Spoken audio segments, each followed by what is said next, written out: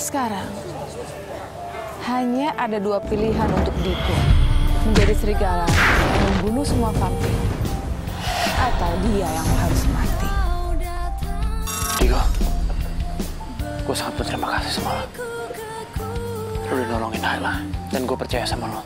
Lo gak akan membiarkan Ayla terluka. Tadi Vino diserang habis-habisan sama Diko.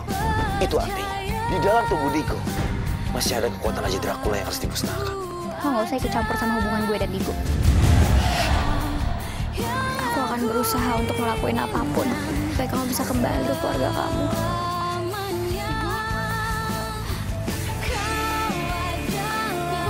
Kita gak berniat untuk menyerang lo, Diko. Lo harus tenang. Digo, Digo, lo nggak apa-apa kan Digo? Jangan terlalu dekat dengan gue. Anak-anak gue,